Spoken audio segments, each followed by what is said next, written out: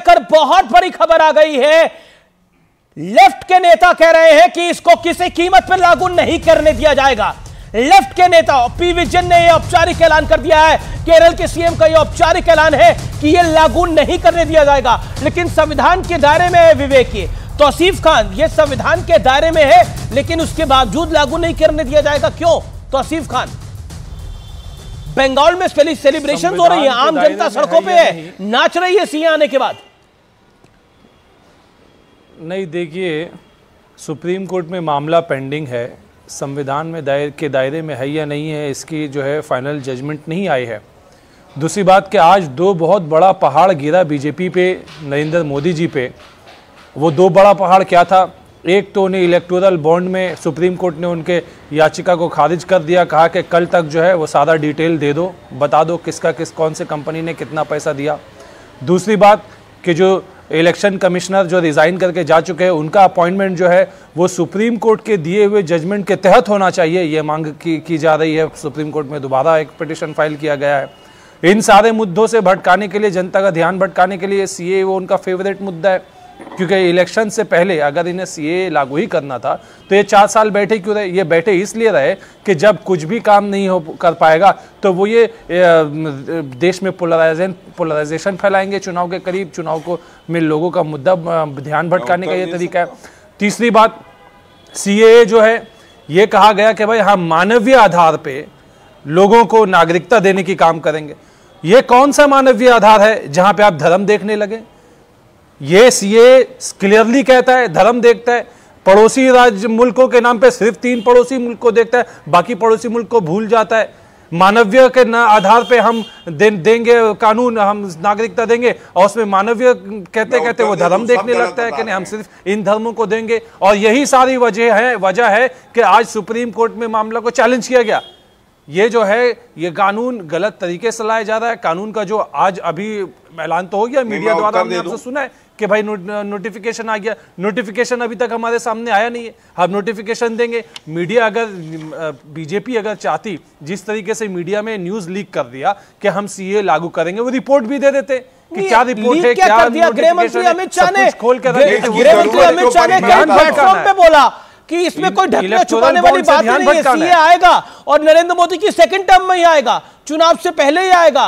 अभी आएगा। उन्होंने तो कई बार बोला पिछले दो महीने में तीन महीने में उन्होंने कई बार बोला कि आने वाला है नोटिफिकेशन कभी भी आ सकता है नोटिफिकेशन लेकिन हाँ, असाउद्दीन ओवैसी का उकसाने वाला बयान आया है। असाउद्दीन ओवैसी असाउद्दीन ओवैसी का लोग सड़क पर आने को मजबूर कर रही है भारतीय जनता पार्टी। सड़क पर आने के अलावा कोई रास्ता नहीं बचा है। यह कहा है असाउद्दीन ओवैसी ने। सीएए एनआरसी एनपीआर का विरोध करता हूँ मैं। और ओवैसी का उकसाने वाला बयान है, ये असाउद्दीन ओवैसी का। एमआईएम के सर्वोच्च नेता है असाउद्दीन ओवैसी। गौरव भाटिया मेरे साथ हैं। गौरव भाटिया, एक मुख्यमंत्री कर रहा है, मैं लागू नहीं होने दूँगा। दूसरे मुख्यमंत्री कह रही है कि किसी हाल में लागू नहीं होने दूँगी। ओवैसी कह रहे हैं कि सड़क पे उतर के आए। क्या होगा यहाँ से अब? देखिए, संवैधानिक दृष्टि से, संवैधानिक दृष्टि से मैं बता सकता हूँ, ममता बनर्जी हो, पिनरई विजयन हो। संविधान की शपथ ली है ना, उनकी संवैधानिक ज़िम्मेदारी है कि अगर कोई कानून संसद से पारित हुआ है तो उसको लागू करें, और अगर वो मना करते हैं तो वो अपनी जो शपथ ली है उसको तार तार कर रहे हैं, संविधान को तार तार कर रहे हैं। उन्हें कोई हक नहीं है वो मुख्यमंत्री बने रहे। जहाँ तक ओएसी की बात है, ओएसी तो है ही भड़काऊ नेता। चाहे वो सड़क पर आए, चाहे वो चूहे की तरह बिल में घुस जाए, कोई फ़र्क नहीं पड़ता अमित जी। देश का सर्वोच्च न्यायालय तय करेगा कि ये कानून संवैधानिक है या नहीं है और प्रथम दृष्टया सर्वोच्च न्यायालय ने ये पाया कि ये संवैधानिक है और इस पर रोक नहीं लगाई ये भी सत्य है। इसलिए ये सब एक साथ आके केवल भड़काऊ बयान देंगे गैर संवैधानिक बातें करेंगे हमारा फ़र्ज़ है साजिद रशीदी साजिद रशीदी मैं आपके पास आता हूँ ये समय की बहुत बड़ी खबर है। साजिद रशीदी मैं आपका रुख करता हूँ मैं अनुराग आपके पास आऊँगा। ये जो असाउद्दीन ओवैसी कह रहे हैं कि बीजेपी लोगों को सड़क पे आने के लिए मजबूर कर रही है, क्या आपको लगता नहीं है ये भड़काने वाली बात है? देखिए असदुद्दीन अवैसी क्या कहते हैं, मुझसे उस पर बात ना कीजिए, मुझसे ये पूछिए कि जो कानून आया है, इसको मैं कैसे देखता हूँ? इसमें सबसे पहली बात यह है कि बीजेपी ने जो धर्म का एंगल डाला है, वो इनका कम्युनल एजेंडा है। और ये ऐसा एजेंडा है ये जानबूझकर इस तरह का एजेंडा लाते हैं ताकि जो आपस में भाईचारा है जो आपस में मोहब्बत है ये किसी तरह से तार तार हो जाए। पर कैसे तार तार हो रही तरह से बिखर जाए। पर कैसे तार तार हो रही है इससे? तार तार इसलिए हो रही जी। सुनिए इसलिए हो रही है। आप मुझे बताइए आप ये कहते हैं साहब किसी मुसलमान को हम जो है नहीं देंगे नागरिकता? हिंदुओं को दे देंगे सिखों को दे देंगे ईसाइयों को दे देंगे। और आपने अदनान सामी को दे दी। हालाँकि अदनान सामी भी मुसलमान है और पाकिस्तान का नागरिक है। हाँ जी। तो ये कतनी और तो करनी में फ़र्क नहीं तो और क्या है? अदनान सामी को नागरिकता मिली उस पर तो आपको खुशी होगी ना उसमें नाराज़गी तो नहीं है। Point number one Gaurav point number कतनी और करनी जी रशीदी बोल ये कतना ये कतनी और करनी में फ़र्क है कि नहीं है? मैं ये कह रहा हूँ कि या तो आप ये कहिए कि जो भी मजलूम होगा कहीं से भी सताया हुआ आएगा, यह हमारी सभ्यता है, हमारा कल्चर है।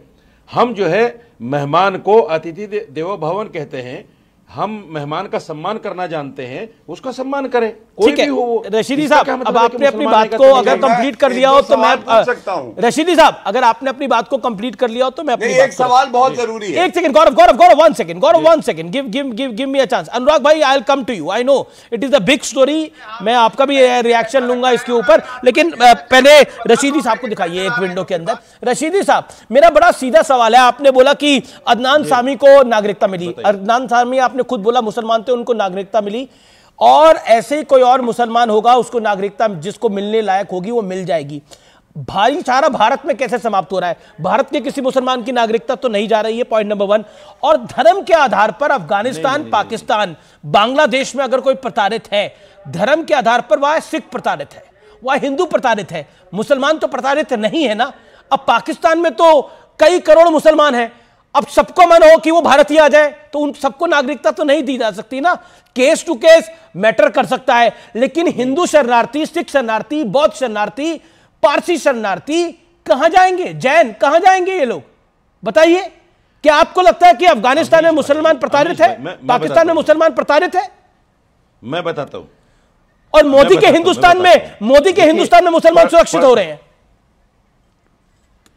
अरे सुन तो लीजिए मेरे भाई। देखिए प्रताड़ित होने के लिए किसी का रिलीजन नहीं देखा जाता। जब प्रताड़ित आदमी करता है तो वो रिलीजन रिलीजन को नहीं देखता कि मुसलमान है हिंदू है वो कोई भी very good point answer my question एक सवाल का जवाब दीजिए। आपने एक अच्छा वाजिब पॉइंट रखा। आपने एक अच्छी वाजिब बात रखी। अब मेरे एक सवाल का जवाब दीजिए रशीदी साहब। आपने बड़ी अच्छी वाजिब बात रखी। अब आप मुझे बताइए हम्म। जब भारत देश आज़ाद हुआ उन्नीस में जब पाकिस्तान और भारत का बंटवारा हुआ कितना परसेंट हिंदू था पाकिस्तान के अंदर? और आज कितना बचा है? और हिंदुस्तान में कितना परसेंट मुसलमान था और आज कितना हो गया है? ऐसी बांग्लादेश की बात कर लेंगे आगे। ऐसी अफ़गानिस्तान की बात कर लेंगे। सरल सवाल है बता दीजिए। सुनिए सुनिए। सुनिए ये ये जो सारी बातें हैं ये सारी बातें कहीं ना कहीं उकसाने वाली है। नहीं नहीं बातें नहीं सारी बातें हिंदू मुसलमान के अंदर नफरत पैदा करने वाली हैं। ये क्यों कह रहे हैं आप? बिल्कुल आप टीवी स्क्रीन पर आपको करोड़ों अरे भाई आप करोड़ों लोग देख रहे हैं आपको। आप मेरे आप सवाल नहीं नहीं आप कम्युनल बात कर रहे हैं। नहीं, मैंने तो सवाल आपसे पूछा मैंने कम्युनल बात क्या करी कम्युनल बात कर रहे हैं। मैंने तो सवाल पूछा मैंने आपसे ये कम्युनल बात है ये कम्युनल बात है। अरे इसमें क्या आप क्यों कह रहे हैं इस बात को? मैंने आपसे सरल सवाल पूछा। अरे भाई आप क्यों कह रहे हैं? ये कम्युनल सवाल है। हुआ तो पाकिस्तान में कितने परसेंट हिंदू थे? इसमें कम्युनल बात क्या है? कितने परसेंट हिंदू थे? भाई साहब ये सवाल ही कम्युनल है। कैसे कम्युनल है? ये सवाल ही कम्युनल है। उनकी क्लिनिंग हो गई। कम्युनल नहीं है। सवाल पूछना मेरा कम्युनल है। मैंने सवाल भी कम्युनल होते हैं। कहा अभी तक मैंने कहा कि विचार कम्युनल हो भी हैं। अब सुनने में आ रहा है सवाल भी कम्युनल होते हैं। देखिए रशीदी साहब सवाल भी कभी मेरे सवाल का जवाब नहीं देना। हैं आप, आप किनारा कर लीजिए कि मैं सवाल का जवाब नहीं दूँगा नहीं जवाब नहीं मैं दे रहा हूँ जवाब। सवाल का मैंने मैंने, मैंने आपको पहले ही बोला। कितने परसेंट हिंदू थे? आज कितने बचे हैं? जवाब दीजिए ना इस बात का। देखिए मैं मैं मैं जवाब सुनिए मैंने एक बहुत अच्छी बात कही थी और आपने उसको अप्रिशिएट किया। मैं अब फिर कहता हूँ इसमें कम्युनल एंगल लाते क्यों है? आपके मुसलमान प्रताड़ित होगा या हिंदू प्रताड़ित होगा? प्रताड़ित जो भी प्रताड़ित हो उसको जगह दीजिए अच्छा, आप। पाकिस्तान में प्रताड़ित कौन हुआ? सिख और हिंदू है ना प्रताड़ित? आपने आपने तो सीमा को जगह क्यों दे दी? सीमा हैदर को जगह क्यों दे दी आप लोगों ने हिंदुस्तान में? क्यों दे दी आपने? बताइए आप मुझे कोई जवाब है आपको, आपको बड़ी याद आ रही सीमा हैदर क्यों है हिंदुस्तान में? तो आपको तो खुश होना चाहिए अदनान सामी सीमा हैदर मतलब भारत सरकार भारत सरकार का मोदी की सरकार का दिल इतना बड़ा कि मुसलमानों को भी मुसलमानों को भी आने देते हैं। फिर तो आपको सीए का विरोध कतई नहीं करना चाहिए। गलत गलत लेकिन मेरा सवाल कमज़ोर हो गया आपके लिए? अमित शाह को चाहिए सुनिए जी। अमित शाह जी को चाहिए कि सीमा हैदर को सबसे पहले वापस करें। सबसे पहले सीमा हैदर को वापस करें। ठीक है मैं गौरव भाटिया के पास चलता हूँ। क्यों ठहरी हुई है वो? मैं मैं गौरव भाटिया के पास चलता हूँ। सीमा हैदर की जानकारी ले लेते हैं गौरव भाटिया से। गौरव भाटिया और अनुराग भाई भी कुछ कहना चाहते हैं सीमा हैदर के ऊपर। देखिए अनुराग भी काफ़ी देर से वेट कर रहे हैं। अनुराग अनुराग भदौरिया आपको भी लगता है सीमा हैदर को वापस जाना चाहिए? अमीर जी अमीर जी गलत बात है ये। आप पच्चीस मिनट तक बैठाते हैं उसके बाद आप एजेंडा चलाते हैं। ठीक नहीं है। मुझे अपनी बात कहनी है कहने दीजिए। आप जब बुलाते हैं तो बोलने का मौका दीजिए। आप सीमा हैदर पे बोल रहे हैं आप। नहीं नहीं, मैं अपनी बात कह रहा हूँ और बोलने दीजिए। और डंकी की चोट पे बोल रहा हूँ। भारतीय जनता पार्टी से मैं सीधा सवाल पूछता हूँ, हिंदुस्तान में हिंदुस्तानी क्यों प्रताड़ित हो रहा है बताइए। क्यों किसान क्या हिंदुस्तानी नहीं, यहाँ प्रताड़ित क्यों हो रहा है, मैं आपसे पूछ रहा हूँ। क्या हिंदुस्तान की बेटी जो पहलवान बेटियाँ घसीटी जा रही क्यों हिंदुस्तान में हिंदुस्तानी बेटियाँ प्रताड़ित हो रही जरा बता दीजिए आप। क्यों इलेक्ट्रॉनिक बॉन्ड की जो बात हुई, यहाँ पे जो चुनावी बॉन्ड जिस तरह का आपने एसबीआई नहीं देने को तैयार है, आज उससे ध्यान भटकाने के लिए इस तरह की बातें शुरू हो गई। भाई आपकी हिम्मत है तो पूछे सवाल भारतीय जनता पार्टी से कि एसबीआई बैंक को क्या दिक्कत है बताने के लिए कि चंदा किसने कितना दिया किस पार्टी को कितने दिया कितना चंदा मिला कब कब मिला ये सुप्रीम कोर्ट ने कल मांगा है कि कल जवाब दे। तो भारतीय जनता पार्टी की भी ज़िम्मेदारी बनती है कि एसबीआई को बोले कि भाई आप क्यों छुपा रहे हो? किस लिए छुपा रहे हो? किसकी मनसा है जो छुपाया जा रहा है? और यहाँ से लाखों लोग जो नागरिकता छोड़ के चले गए हिंदुस्तान की उसकी ज़िम्मेदारी किसकी है? केयर फंड का यहाँ पे जनता को डिटेल क्यों नहीं चलना चाहिए? इसका ही पता चलना चाहिए। भारतीय जनता पार्टी घबरा गई है परेशान है। उसे पता है कि उसने हर तरह की राजनीति कर ली। उसने राम का राजनीतिकरण किया उससे कोई फ़ायदा नहीं मिला जनता अपने मुद्दों पे है। उसने पार्टियाँ तोड़ी नेता तोड़े लेकिन जनता पे कोई फ़र्क नहीं पड़ा जनता अपने मुद्दों पे है। इन्होंने बहुत कोशिश की